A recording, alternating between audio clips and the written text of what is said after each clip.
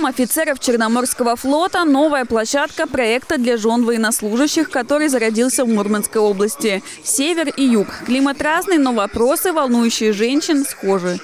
Жены военнослужащих – люди, которые умеют слышать и понимать, и относиться э, очень трепетно к здоровью своей семьи. Э, мне кажется, это та аудитория, которая может быть и хорошим проводником наших здоровых идей и для других.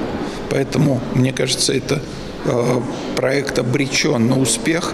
Его надо действительно тиражировать. Плотно встаете на место вы и подумайте о своих ощущениях.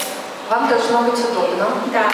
Сейчас мы можем и чуть-чуть покачаться слева направо. Навык свободного общения, образование детей и открытие своего дела. Спикеры из Мурманска, Москвы и Севастополя провели 12 лекций для Черноморской звезды.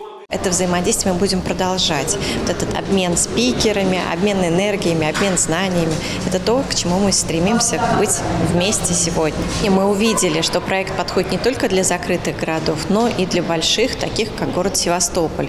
Идея женского форума уже заинтересовала жительниц Калининградской области. Скорее всего, этой осенью там проведут Балтийскую звезду. Влада Егорова, ТВ-21+.